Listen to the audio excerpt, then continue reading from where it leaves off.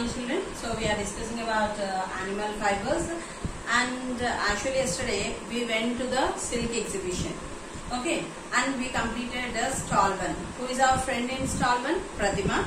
She explained about the, what did she explain for us? Uh, about the silk moths, about the seeds and uh, about the larva. So what is the other name for silk moths? Chilakalu, Bombyx mori and butterflies. What is the other name for eggs? Seeds. What, what we are uh, doing uh, to hatch the seeds? We are using mulberry leaves to hatch the seeds. Then uh, when we are hatching these seeds, where these uh, uh, silkworms, eggs and larvae will be present in green, green ages. What we will say? In green. Where these green ages are present? These green ages are, uh, where is the center? It is present in Horsley Hills. Where is this Horsley Hills? In Chittoor district. Where is this Chittoor district? In Andhra Pradesh state. So these are the things yesterday we discussed. In one go, a silk moth lays how many eggs? 500 eggs. Is it a male silk moth or female silk moth? It is a female silk moth. How many eggs? Around 500. After giving 500 eggs, what will happen to the silk moth? It will die. Okay, in one go, the silk moth will give 500 eggs and it will die. These are the things yesterday we discussed in stall 1. Now all of you are ready. Shall we go to the stall 2 to the exhibition? Shall we? Yes. Let us enter stall 2. Egg to cocoon. Okay, how the eggs are converted into cocoons. Here, large trays. See in the textbook. There are large trays with leaves and larvae feeding on them could be seen. Is it correct or not?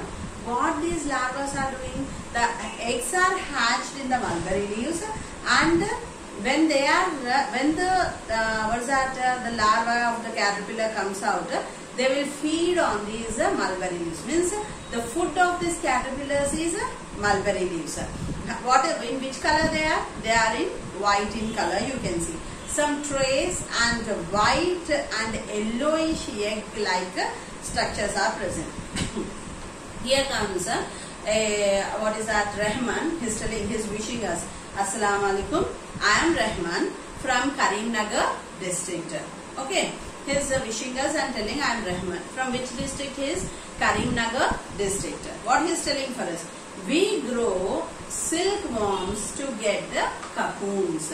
What they are taking here? Silkworms. Before Pratima's father what he took? Silk moths, eggs and larvae he took. Now here what they are taking? Silk worms to make it into cocoons. We get 5 to 6 harvests of worms in every year. In every year 5 to 6 times they will uh, form the cocoons. So my grandfather, my father and my brother. So a total 4 members. Rahman, Rahman's brother, father, grandfather. Means total family are doing business on these silkworms. Okay. We have 2 acres of mulberry plantation means silkworms will feed on water mulberry leaves no so again if they want to purchase from someone is what will happen it is uh, waste of uh, having silk so they are having two acres of land it seems the two acres of land was full of uh, mulberry trees only.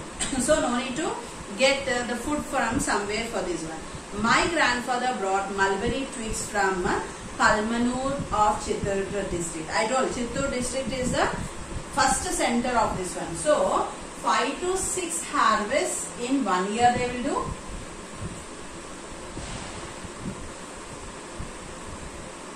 And they are having mulberry trees.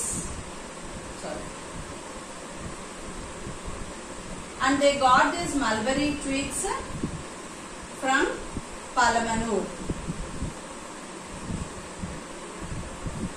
of Chittoor district.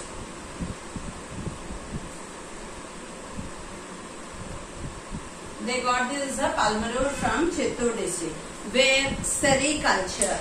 Sericulture means uh, rearing of silkworms to get silk. What is sericulture? Rearing of silkworms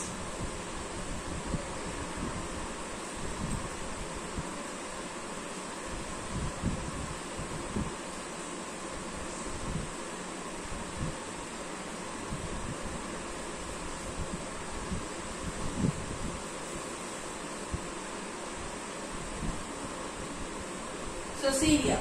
Rearing silkworms to get silk is called as a sericulture. Know the definition of sericulture. So here what he is telling that uh, where sericulture, the whole process of obtaining silk starting from silk moth to where it is uh, Horsley Hills, okay, is carried out. We plant the twigs uh, to get the mulberry crop.